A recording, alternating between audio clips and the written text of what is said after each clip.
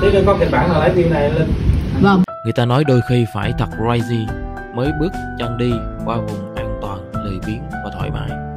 Mà đúng là thế thật. Đôi khi phải rất là crazy, rất điên nhưng tỉnh thức thì mới thấy cái giấc mơ của mình nó là thứ gì đó thật lung linh và đáng để chạm vào. Như nghề làm marketing cũng vậy.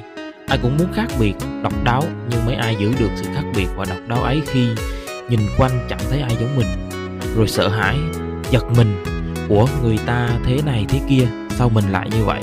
Chỉ có khi mình thật rõ vì sao mình lại thế. Cái chất của mình cái cốt lõi của mình nó thể chỉ thể hiện bộc lộ khi giật mình hay sợ hãi mà thôi. Trong tình huống khó khăn mới biết hết các phẩm chất của con người hay thương hiệu. Như thầy dạy con đừng sợ con cứ bước đi đi tỉnh thức chánh niệm trên từng bước chân. Con sẽ thấy nỗi sợ tan biến đi khi con chẳng nhìn vào nó mỉm cười an nhiên đi tới.